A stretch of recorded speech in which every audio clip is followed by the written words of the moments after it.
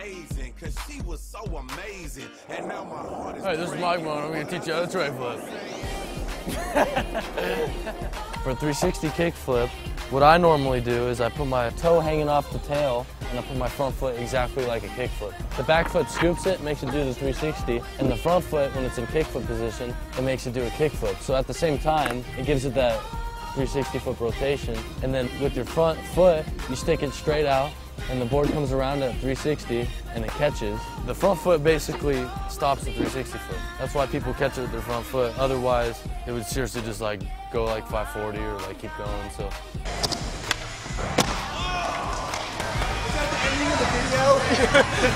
So.